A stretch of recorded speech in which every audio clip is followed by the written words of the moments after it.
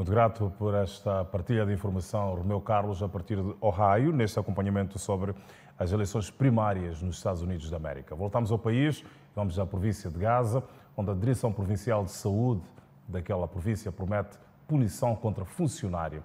O caso de mau atendimento no gabinete de consulta médica do Centro de Saúde de Xeixai eh, colocou distanciamento, digamos assim, com a Direção Provincial de Saúde, que afirma que aquele tipo de práticas deve ser punido e o funcionário vai ser responsabilizado. Um caso de mau atendimento espolitado pela população desta feita no Centro de Saúde de Xexai e que cai como um balde de água fria para a Direção Provincial de Saúde em Gaza. Prefere me deixar morrer porque não tenho máscara.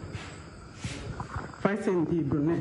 Eu estou aqui com dispneia e cefaleia. Não posso ser atendida porque não tenho máscara. Tenho que morrer a sentir isso porque vocês não vão me atender porque não tenho máscara. Vou ter onde máscara essa hora.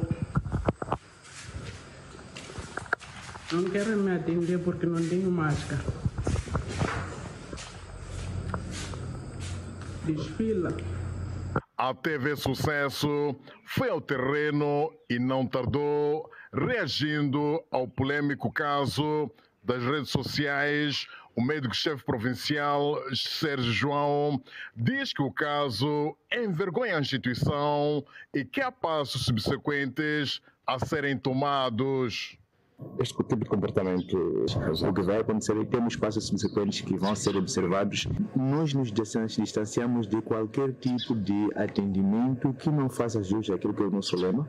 E não só neste tipo de situações que aconteceu, mas em, todo qualquer tipo que eh, não culmine, não termine com atendimento condigno e de qualidade com o nosso paciente. No entanto, a TV Sucesso segue os bastidores para aferir o desfecho do caso em apreço.